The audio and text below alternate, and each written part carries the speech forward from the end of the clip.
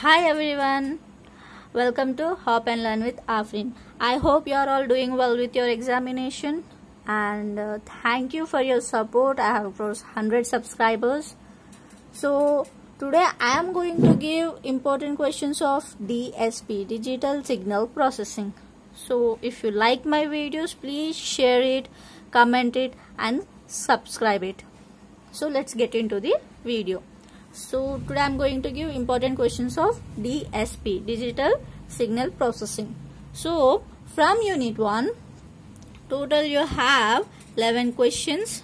So these are, I'm giving total uh, theory and numerical. So I'm giving theoretical and as well as numerical importance. So on which numerical, on which topic you have to uh, uh, prepare and theoretical questions I am giving from unit 1. So this is first question. List out advantages and disadvantages of DSP. Advantages and disadvantages of DSP digital signal processing. Explain the classification of discrete signals. You need to classify discrete signals. Define sampling rate. Okay Next one sampling theorem, Nyquist rate, Nyquist interval. You need to define sampling rate, sampling theorem, Nyquist rate, Nyquist interval. Next question is what is aliasing? What is aliasing? Fifth one define discrete system. Define discrete system and discuss its classification so you have two times I have given this importance so it is most important. Next. Show LTI system can be described by unit step response. Next. You need to explain. Explain the time invariant linearity stability and causality. Stability and causality you need you they may ask this question. I'll highlight this. They may ask this question as they may ask uh, uh, definitions and problems. So both numerical and as well as theory. Both you need to prepare this. Next discuss downsampling and upsampling. Discuss downsampling and upsampling Fre next, frequency domain analysis of decimator. Frequency domain analysis of decimator. Next, interpolation process. Interpolation process. Last but not least, sampling rate conversion by decimation interpolation factor. This is also both theory and as well as numericals. Sampling rate conversion by I or D. So total 11 questions you'll have. I'll show it again. The unit 1 questions. Advantages, disadvantages of DSP. Classification of discrete signal. Sampling rate, Nyquist rate. Aliasing, discrete system, classification. All these are important. Next, from unit 2. Differentiate Fourier series and Fourier transform. Most important, repeatedly they are asked this differentiate Fourier series and Fourier transform. Next, distinguish between DFT and FFT. Explain DFS of periodic sequence. Define DFS. This is also an important question. Define DFS and prove, prove properties of DFS. Next, I said that I'll give the important topics of numericals that you need to prepare because all questions cannot be given. So numerical problems on 4 point okay 4 4 point and 8 point DFT IDFT 4 point and 8 point DFT and IDFT numericals problem on 4 point and 8 point DFT IDFT so DSP is mostly theory as well as numericals. They may ask mm, all problems all they may ask all theory or both theory and numerical so i'm giving both theory and as well as numericals. So next. State and prove the properties of discrete fourier transform. State and prove the properties of discrete fourier transform. Next. This is also an important question. By taking an example compute dft compute dft by using overlap save method. Obtain the relationship between dft and dfs obtain the relationship between dft and dfs this is also an important question.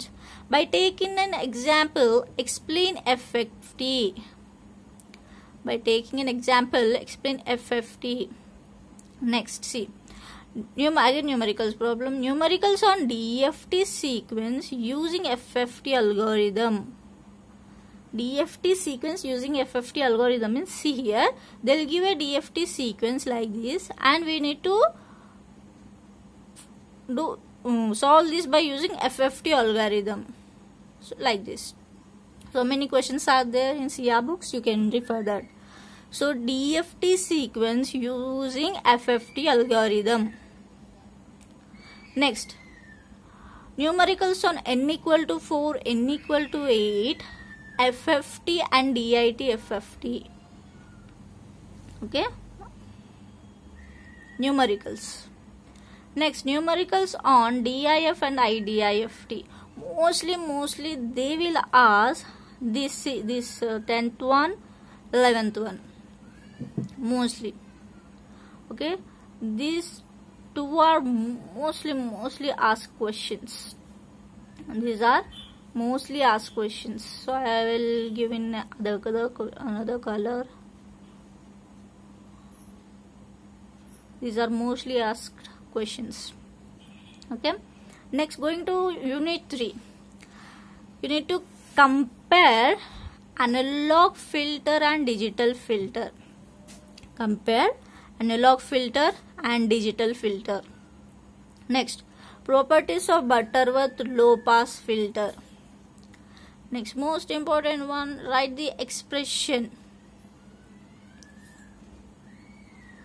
Expression for order of butterworth and chebyshev filter.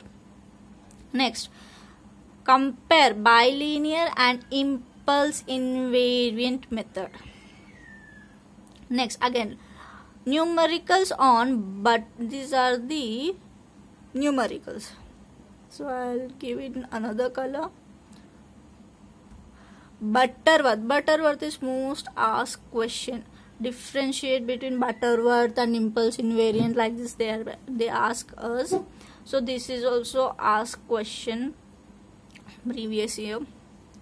So you need in Butterworth you have various questions like low pass, high pass, low pass Butterworth, high pass Butterworth, Butterworth, Chebyshev type 1, type 2. All these you need to prepare. Next, Explain impulse invariant method of IIR filter. Next again, mostly numericals on bilinear and impulse invariant method. So mostly they are asking on bilinear. Impulse invariant and bilinear one one question you will get. Next fourth unit, nothing much, only all numericals. You need to prepare numerical problems on frequency on frequency response okay next Fourier methods okay next window techniques this is a damn sure question. Window techniques. You can make a point of what you want to mark it how you want to prepare. You prepare but this is a deadly gunshot question. Okay? Window techniques are gunshot questions. So again I'll this is gunshot question. You have to prepare all window techniques.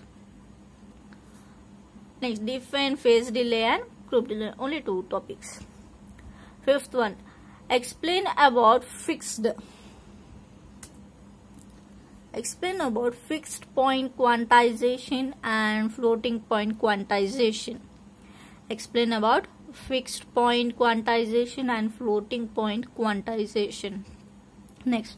Explain finite word length effect in digital filter. Explain finite word length effect in digital filter. Next. Numericals on uh, z transform uh, canonic cascaded and parallel form. Okay z transform canonic cascaded and parallel form so in dsp mostly all the questions they will ask numerical type. From unit 2 definitely they will ask this uh, 4.8 point and this fft these questions. Definitely from unit 2 you will get numericals. Unit 1 mostly will get theory. And unit 3 you will get theory and as well as numericals. Unit 4 also same and unit 5 only numericals. So if you like my video please subscribe share and comment below. Thank you